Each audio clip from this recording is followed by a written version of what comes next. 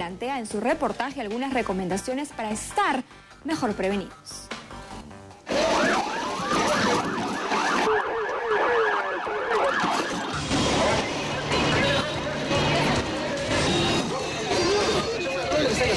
No somos ladrones, somos policías. Señora, párese allá al frente, por favor. Estos sellos, estos sellos le hemos puesto ahí para que, para Para que se vea. O sea, esos estaban acá adentro. Ya.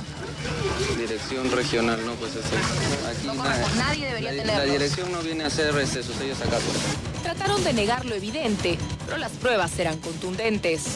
DNIs, partidas de nacimiento, certificados de estudio, de todo, pero falso. El corazón del mundo Bamba recibió un duro golpe. Fuera 10 de Girón a Zángaro, en estos momentos la policía se encuentra interviniendo este local. ¿Pero usted no trabaja en este lado? Yo trabajo en este lado, señorita. Yo ¿Este cajón no es tuyo? No, es acá trabajamos otra señorita más. Eso no son mías. ¿Usted aquí se falsifican documentos? No. El trabajo policial sorprendió y fragante a esta organización familiar que le daba a cualquier parroquiano el documento de su preferencia, de cobrar una pensión, sacar menores de edad del país, obtener licencias de armas y hasta cambiar de identidad. El país de las maravillas para cualquier delincuente. Universidad Nacional de Educación Enrique Guzmán y Valle La Cantuta, certificado de estudios. El director de la Oficina de Registros Académicos certifica que aquí este señor de la facultad estudió Pedagogía y Cultura Física, especialidad Educación Primaria. Municipio de Oruro, Bolivia. Sección de los registros de Estado Civil Certificado de Soltería. O sea, si un extranjero se quiere casar en el Perú.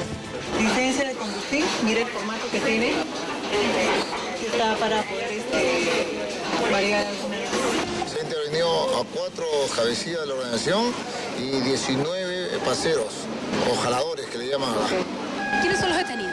Los cabecillas, ¿no? los cabecillas. Rolando, presuntamente son Rolando Francisco Landa García, 24 años.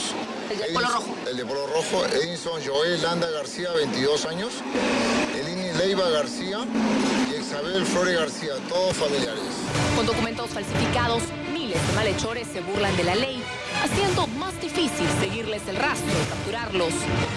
La inseguridad ciudadana es tremenda.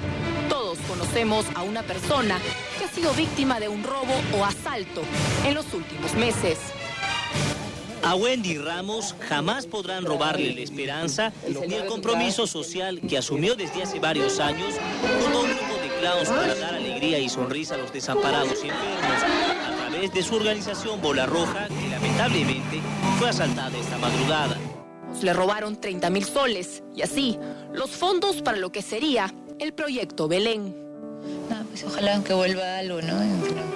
Como decíamos, se robaron todo, pero no nos robaron la alegría, ¿no? Necesito recuperar ese dinero, ¿no? Para, para, porque es un proyecto lindo, es, es, este, es el dinero para comprar la pintura, para mover las cosas, para que los payasos puedan llegar allá y pasar 11 días con esa gente, ¿no?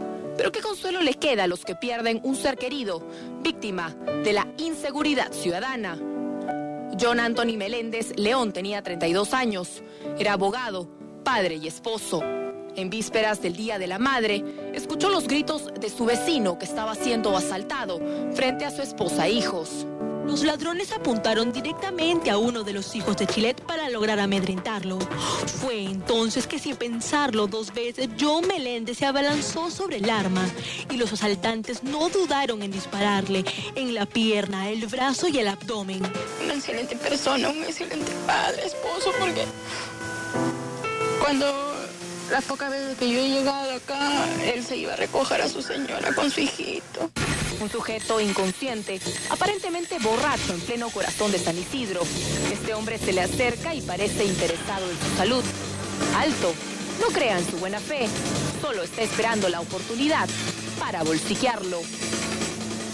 Mire cómo rebusca los bolsillos y se detiene nuevamente a chequear su salud cuando esta mujer se detiene a observarlo.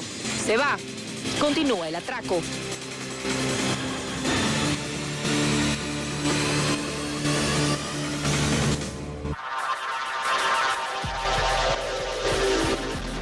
Otro video nos muestra la facilidad con la que dos maleantes trepan un muro de dos metros de alto para cometer un delito.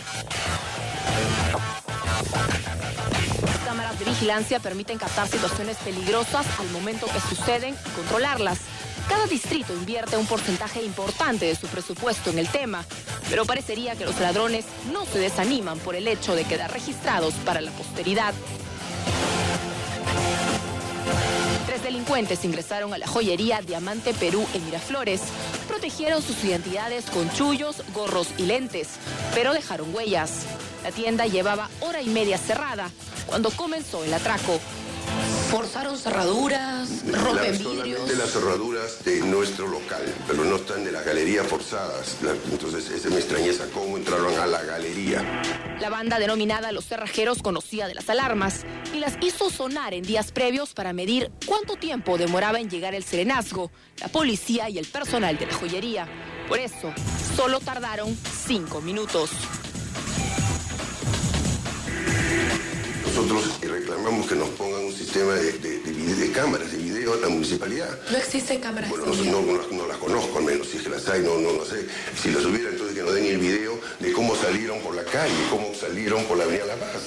Gerardo Cela ha invertido muchísimo dinero en su sistema de seguridad. Sabe que su profesión de gemólogo lo expone a los delincuentes, pero pide mayor atención a la zona.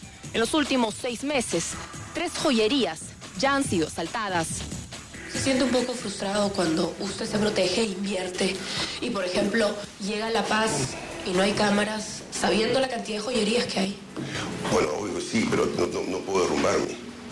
De verdad, en el momento que me entré, me ha impactado, me ha dolido. La primera noche no puedo dormir bien. ¿Qué alternativa nos deja la creciente inseguridad ciudadana? Algunos proponen la autodefensa. Como las mujeres somos un blanco atractivo para los ladrones comunes, decidimos tomar acción y protegernos. El que viene también a agredirte no sabe cómo se reaccionar tú. E- ese factor sorpresa también como que lo saca de cuadro, ¿no? Y puede sorprenderlo como para que tú puedas este, tomar distancia y salir de la situación de riesgo, ¿no? Juan Rubino es profesor de artes marciales en la Academia Black Dragons. Allí se ofrece un curso especializado en defensa personal para mujeres. Cualquier cosa que podemos tener en el momento es un arma, ¿no?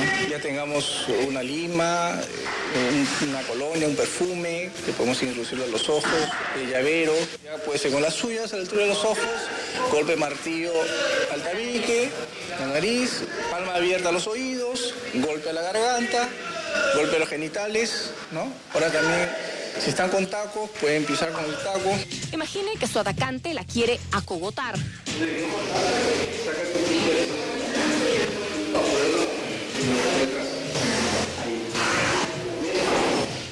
De repente intenta ahorcarla. Solamente pasas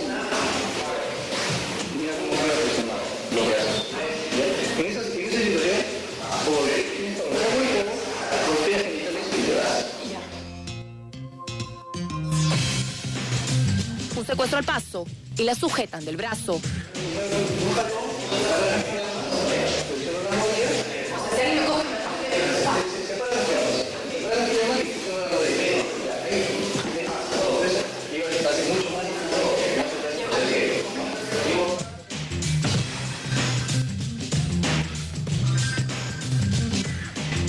Todas estas técnicas no requieren fuerza, solo tranquilidad y no pretenden reducir al delincuente, sino solo crear una oportunidad para ponernos a salvo.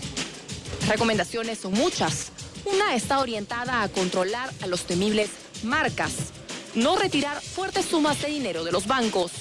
Este joven fue víctima junto a su madre de los peligrosos marcas. Fue cerca al cruce de los girones Cusco y La Libertad en Magdalena que un autoplomo de lunas polarizadas le cerró el paso. Doña María Escobar Quinto, de 74 años, retiró 3 mil euros de un banco en San Isidro. Ante el atraco intentó proteger el dinero, lo que desató la ira de los sanguinarios delincuentes que casi y la matan. Como no tenían la plata, se fueron a su mamá. Y la señora tenía la plata, ¿ve? Como la señora no, sol- no soltaba el, el- el paquete que tenía, le, le metieron un balazo.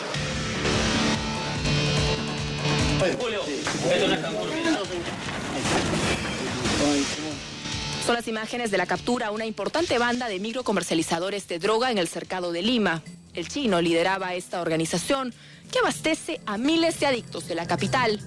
¿Cuánto tiene cada paquete? Uno loco. ¿Cuánto tiene cada paquete? Uno loco. ¿Ah? Oye, ¿cuánto tiene cada paquete? A fumar su...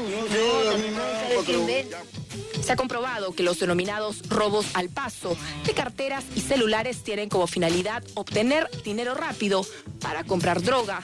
Un adicto gasta hasta 40 soles diarios. Este joven universitario camina entre la gente sin preocupación hasta que descubre que ha perdido una de sus pertenencias. Observe el juego de mano de este sujeto que se ubica a su costado y que en solo un segundo logra arrebatarle el celular.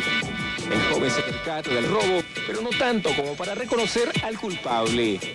Incrédulo mira alrededor y pasa delante del delincuente y observa como si nada. Estuvimos patrullando con el escuadrón de emergencias, ingresamos a la central 105 y observamos cómo se monitorea la ciudad. Son miles de cámaras vigilantes que captan imágenes como estas.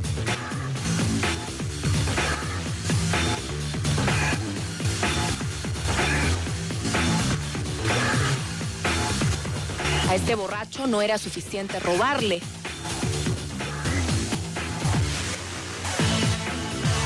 Mejor secuestrarlo al paso.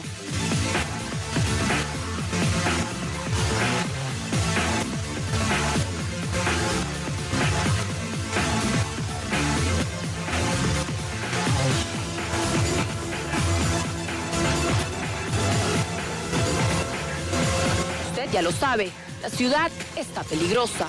Solo nos queda ser precavidos y esperar que la situación cambie. Mientras, a cuidarnos como podamos.